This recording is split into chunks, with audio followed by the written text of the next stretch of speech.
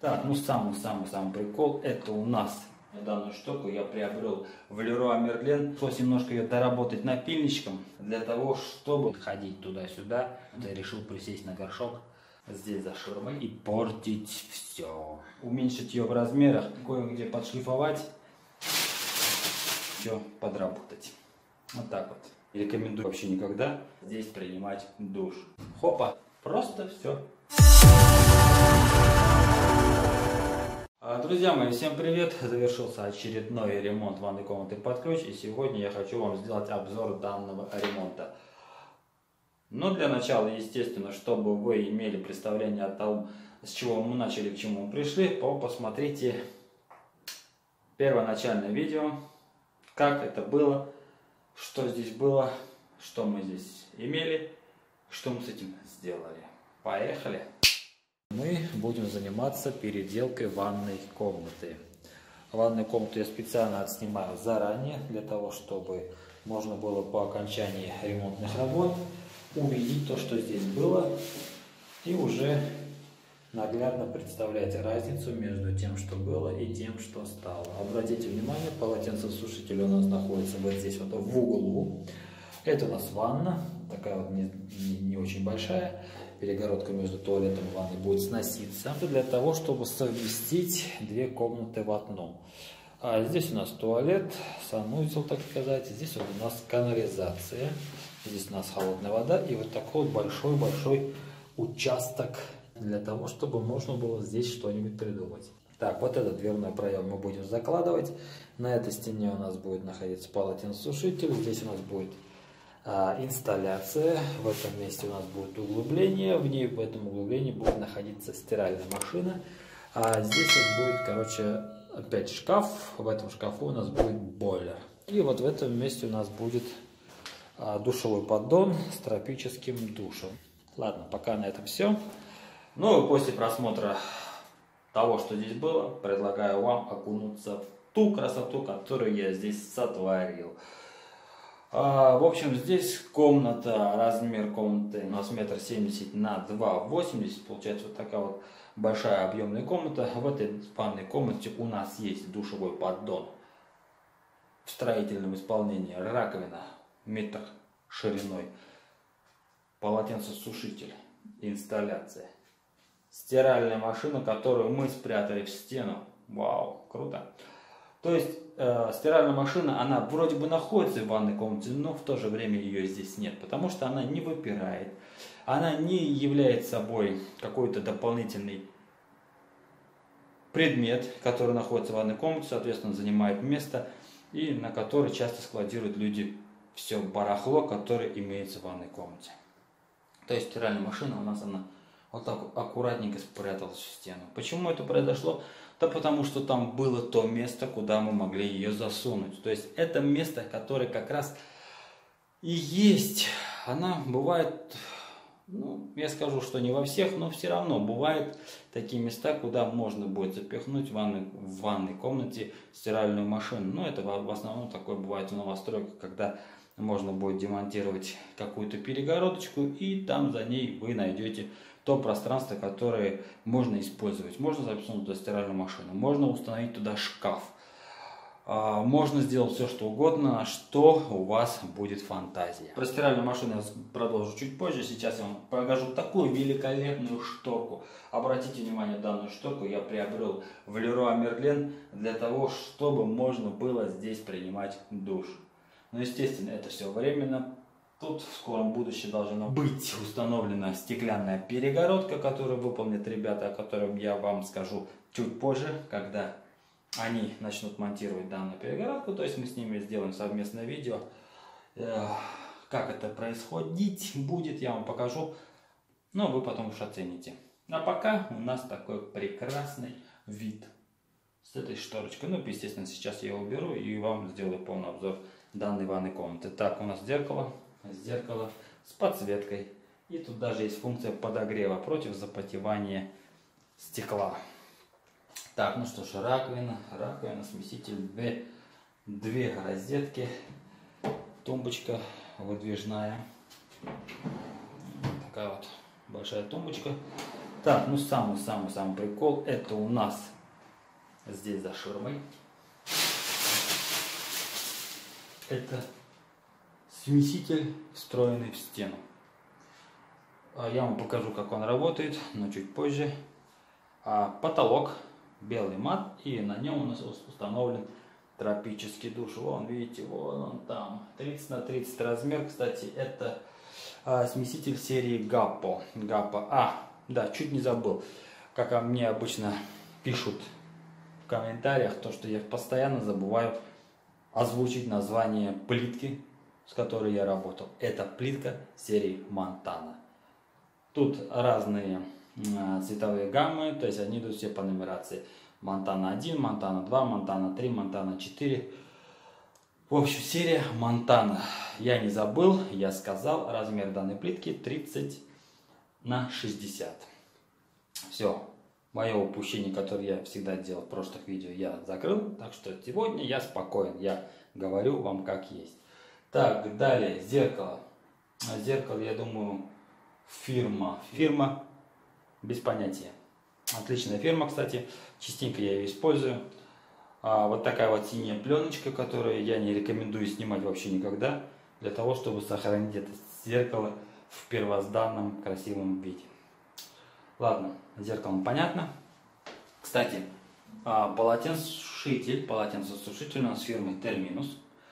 Вот, я установил специально два крана эти краны нужны для того, чтобы мы могли регулировать, во-первых, температуру а, данного полотенцесушителя, во-вторых, если будет необходимость, просто закрыть его для того, чтобы, ну, у нас и так в комнате жарко, потому что вот в этом месте, вот, вот там, вот тут по полу идет труба, так как труба у нас проходила здесь по центру комнаты, я ее сместил туда в стороночку, и получается одна труба идет по потолку, вторая идет под полом. И соответственно у нас тут дополнительный теплый пол.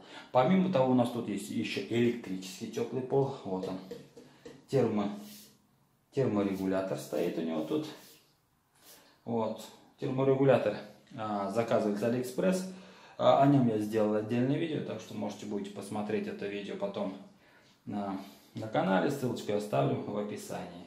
Так, Рядом с горшком у нас здесь находится гигиенический душ.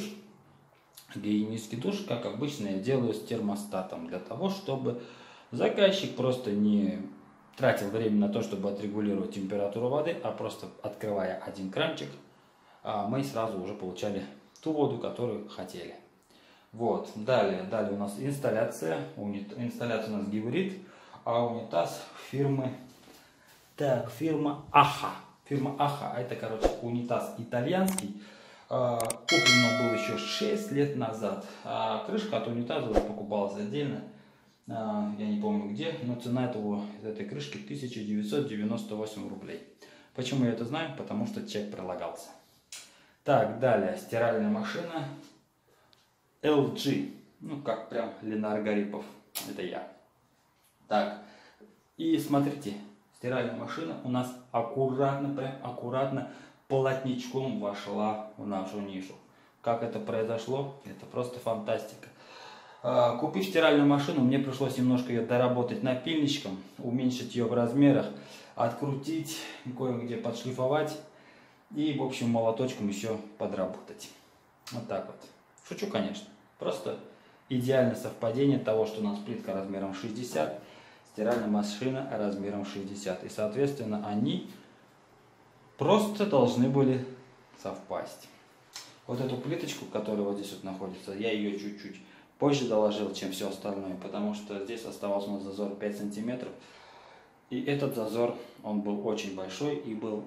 Мне просто не понравился, поэтому я вот решил, что надо немножко его доделать. Поэтому я там уже сконструировал небольшую конструкцию, приклеил плитку, замазал, затер. И, в общем, сделал все красиво. Кстати, да, я вам обещал показать, как работает смеситель. Я вам покажу, но чуть позже опять.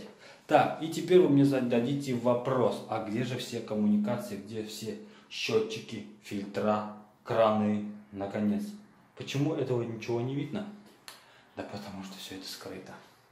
Скрыто это все здесь. Вон оно, видели? Это все здесь. Все спрятано вот здесь за люком. Люк фирмы Demetra. Размер этого люка у нас идет 60 на 90.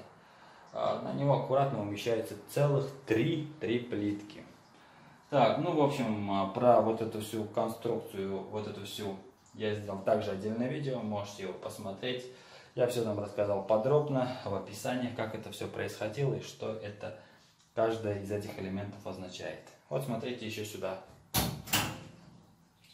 Удивительно, да? Два люка открываются, как две дверцы. И за этой дверцей мы видим бойлер. Бойлер фирмы Electrolux на 50 литров. В общем, он сейчас функционирует, в нем вода уже закачана, холодная вода. А там вот есть две розетки, которые... Одна розетка для бойлера, другая розетка для стиральной машины. Все подключения происходит там. В будущем здесь в шкафу должен быть шкафчик. Шкафчик с полочками. Для того, чтобы туда можно было складывать всякую мелочь, которая нужна для пользования ванной, там химия, порошки, зубные щетки, зубные пасты, ну, в общем, все барахло, которое обычно часто у нас хранится в ванной комнате. Ну, даже можно полотенце, в общем-то, запихнуть. Короче, прикольная штука. Опа, шкафчика нету. Хопа, шкафчика нету. В общем, все, все, просто спрятано, просто, просто все. Круто. Что еще могу сказать? Круто, молодец, молодец. Спасибо за то, что вы поддерживаете меня лайком, то, что пишете в комментариях такие клевые, красивые, полезные, интересные эм, вещи. Ну, а тем, кто не пишет, кто пишет гадости, им отдельно спасибо за то, что вы просто э, да, не даете мне отдохнуть. Всегда заставляете меня работать над собой, всегда исправлять, допустим, какие-то моменты, о которых вы все время пытаетесь надавить, ну, какую-то мозоль, на которую постоянно вы пытаетесь мне надавить. Кстати, на полу у нас та же серия, а, поддон сделан из той же серии, все здесь выполнено заусовкой под 45 градусов, все моменты, а, уклон, а, трап, трап у нас, трап у нас фирмы Алкопласт, чешский, как делался данный поддон, тоже у меня отдельное видео, так что тоже можете его посмотреть. Весь процесс от А до Я. Как создавал я этот поддон, как я его делал, что, в общем, мне нужно было для того, чтобы сделать. Ну что ж, а теперь что? Теперь душ фирмы Капа. Поехали. Итак, сейчас я буду демонстрировать, как работает наша душевая система фирмы ГАПа. Так, у него три режима переключения. Первый это вот это вот, э, вот этот носик, откуда у нас подается вода. Потом лейка и тропический душ. Так, в первом режиме, я думаю, у меня стоит на лейке, ой, то есть на носике. Открываем потихонечку кран и вот так вот подается вода. Чем больше открываем, тем больше она подается. Так, следующий режим это у нас. Ого! Тропический душ. Чуть не облился. Шторку я закрыл специально, потому что вода может сюда брызгать, а мне это не нужно. Так, тропический душ у нас работает. Все хорошо. Поворачиваем дальше. И Следующим у нас уже работает лейка. Так, лейку я тоже предварительно нагнул, потому что она сбила у нас стенку. Так, ну обратите внимание, вот вода у нас здесь есть, и она сейчас стекает в трап, вон туда. Сделал такой специальный конвертер для трапа, для того, чтобы туда все аккуратно сливалось, и вода не оставалась у нас нигде. Так, далее переключаем и хоба! Опять вернулись мы на носик.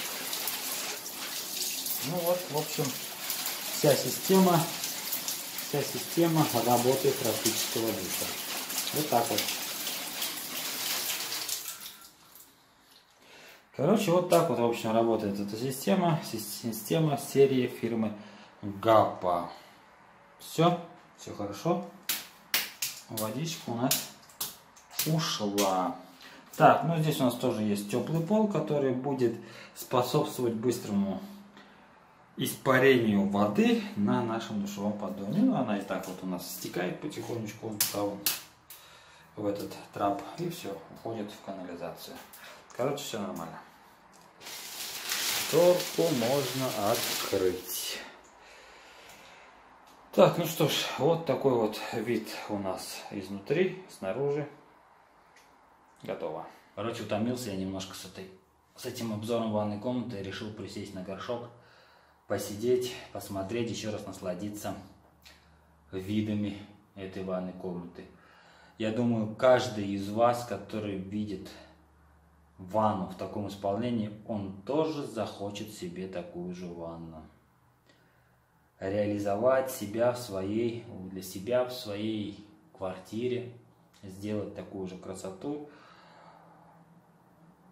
и получить такой же результат. В общем, всегда, всегда у нас самая основная и больная тема, когда мы пытаемся сделать ремонт в ванной комнате, это найти хорошего мастера. Хорошего, инициативного, немножко сумасшедшего, как мне сказал мой заказчик, то что у меня будет работать мастер с прибабахом.